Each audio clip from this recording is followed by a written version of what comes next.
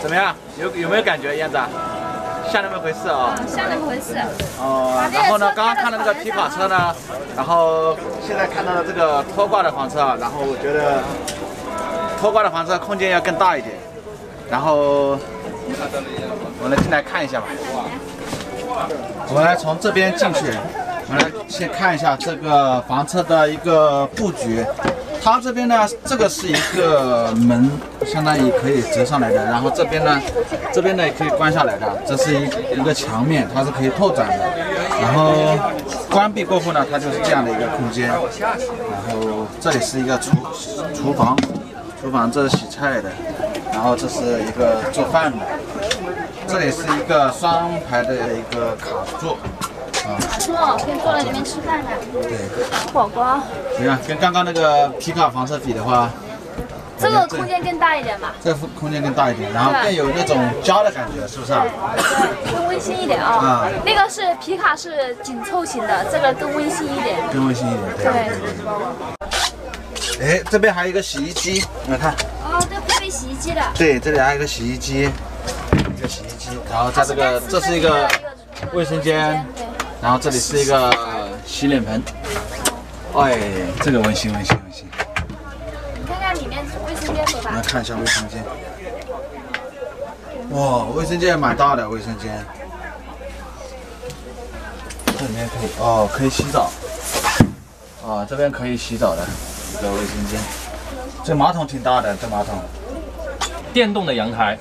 这个是电动的啊，两个按键就升起来了。哦，这阳台是电动的，电动往往往上往上合，这边往下合是吧？对，电动的。哦。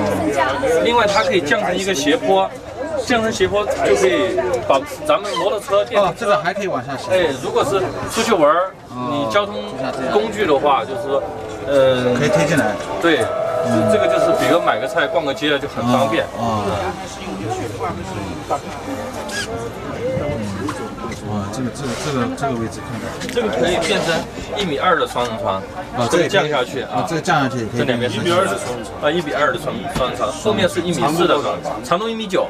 这里一个衣柜，哦，这里有个衣柜，放很多很多东西，有被子啊、衣服啊，都可以放里面。这是电箱吗？对，电箱。哦，对对对对。是那个配电箱。对。干湿分离的卫生间。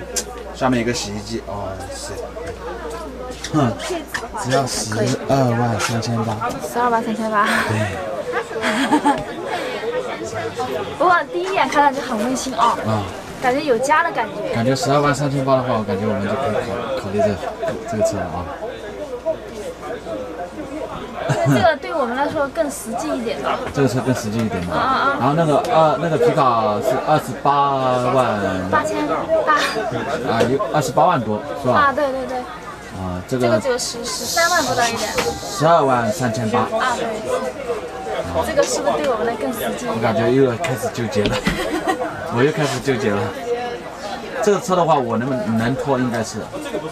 应该应该能拖。我看到他们小轿车都拖的，我这个车。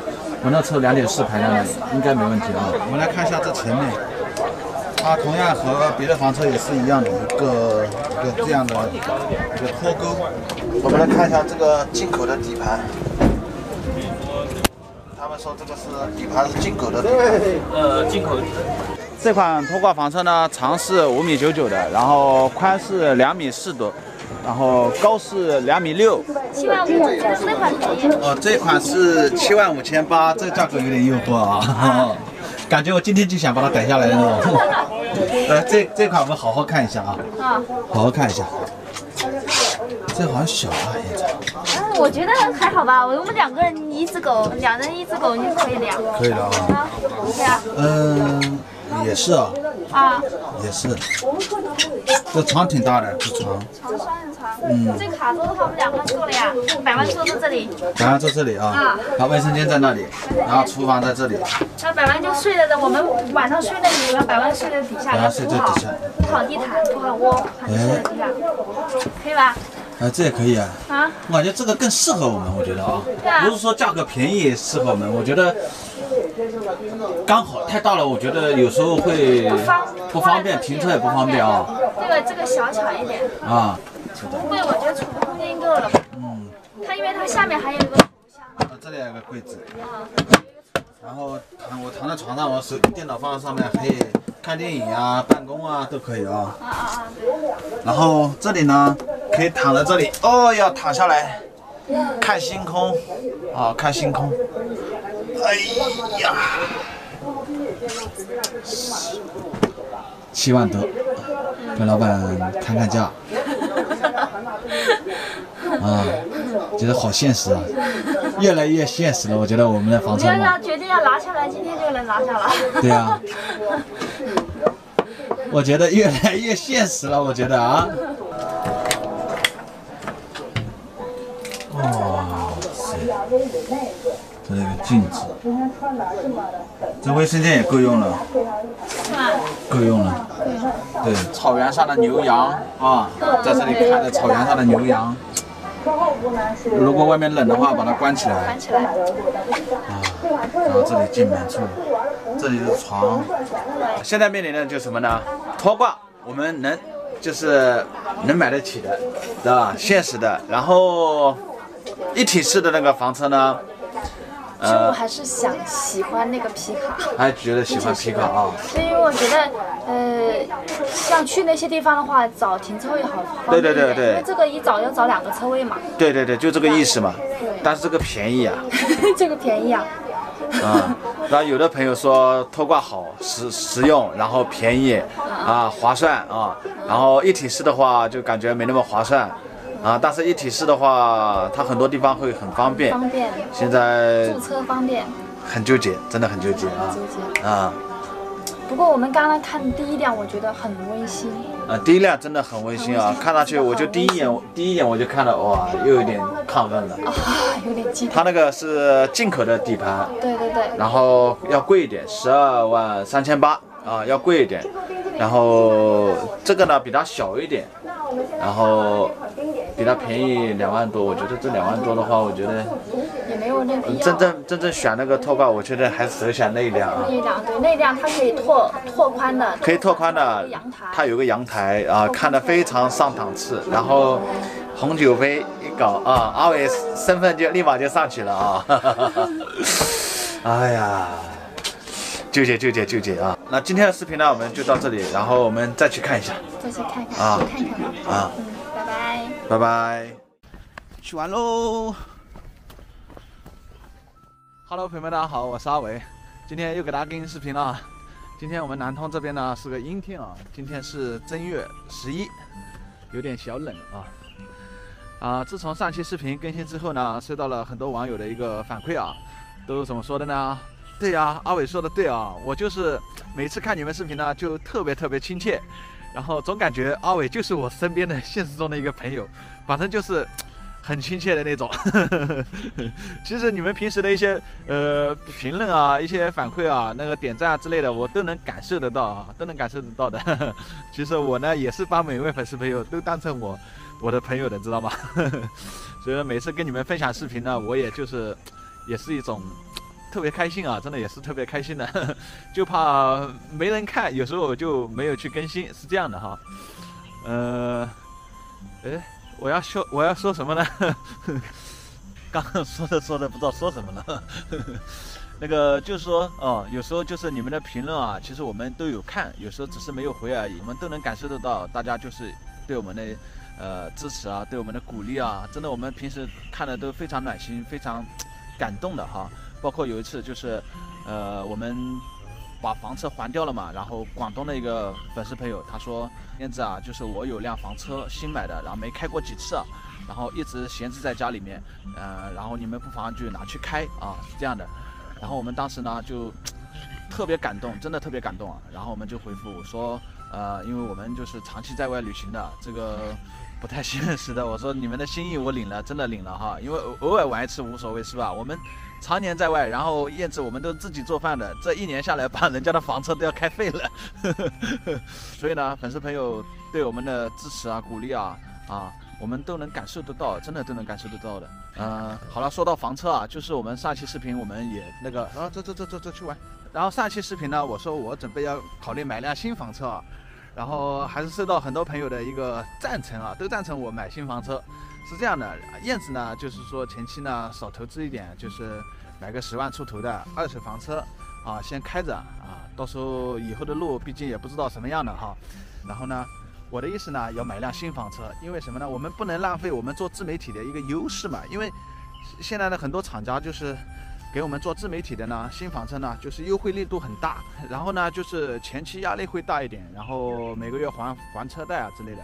不过呢，这个就是以后同样卖出去，开个几年卖出去之后呢，一个损耗呢，那个折旧呢，其实差不多的。你买旧车的话，你开个几年也要折旧嘛，是吧？然后你新车开个几年之后呢，呃，也是折旧。不过那个折旧出门打八折的那个折旧费嘛，厂家已经给我们出掉了嘛，就这个意思嘛。所以说我们不存在有那个出门打八折的那个折旧费了嘛，是吧？然后很多网友都说，哎，阿伟说的对哈，就是挺赞同的，这个挺赞同我买新车的哈。我在拍视频嘛，他拼命拽着我跑。你要干嘛去了？跑的？哎呀，好了，别往身上爬，我要录视频的。然后这两天呢，我和几个厂家呢正在谈，一个是扬州的，还有一个呢是张家港的，还有一个是常州溧阳的，啊几个厂家。然后这几天呢可能会去他厂里去看一下车。然后我现在面临一个情况啊，就是我在纠结，就是买那个大通底盘的，还是买那个依维柯底盘的。然后其实我在网上看了一些资料啊，都很多朋友反馈啊，就是说那个大通底盘的呢，开的驾驶感啊那些就是很舒服啊，有一种开那个 SUV 轿车那种感觉。但开依维柯的话，就有一种开那个开货车的那种感觉啊，是这样的一个反馈。然后具体呢，我也不太了解关于这个底盘。其实我我其实也不懂这个房车，其实啊，因为我之前开的是上上汽大通的那个大通的底盘的话，我觉得。还驾驶还可以，但是我看到路上有些车友他们开的那个，呃，依维柯的，有一种就是很笨重的那种货车的感觉啊。具体具体驾驶感受什么样的我也不知道。然后这几天呢，我去厂里，呃，去亲身去啊去驾驶一下，去感受一下，看一下那个依维柯的底盘开上去到底是什么样的。我从来没有开过。最终呢，还怎么说呢？反正就选择适合自己的吧。其实我这个人比较注重就是，呃，驾驶感受吧。啊，我比较注重驾驶感受，因为我们在旅途中，呃，更多时间在路上开啊，去西藏啊，去新疆啊，啊，路上那个驾驶感受也非常重要的。如果开的就像货车一样笨重那种感觉的话，那就没有驾驶乐趣了。好了，我现在去取快递，取完快递呢，今天我还要去买菜。幺杠二幺幺杠二六零零五。很优惠啊。哎。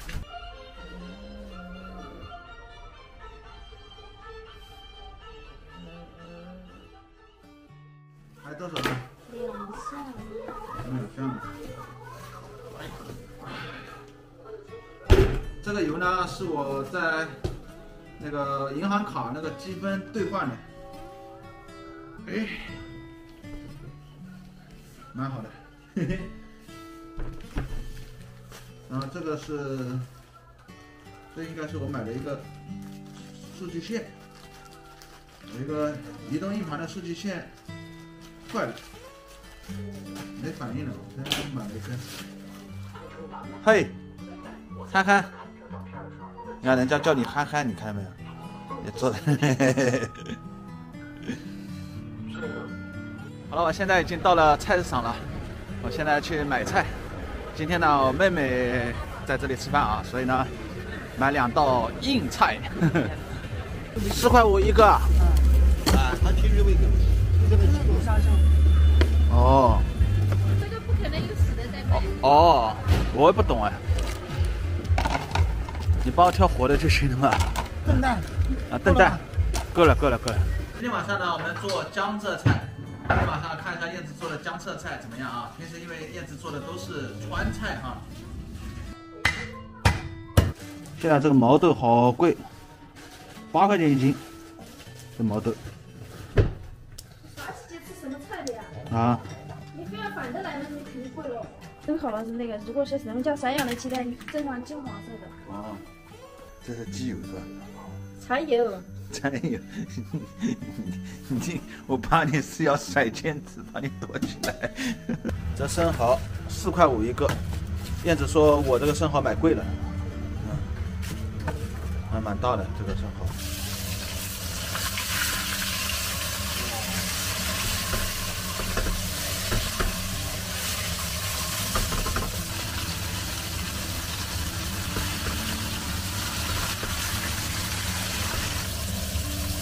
酱油、搞里头，加点水。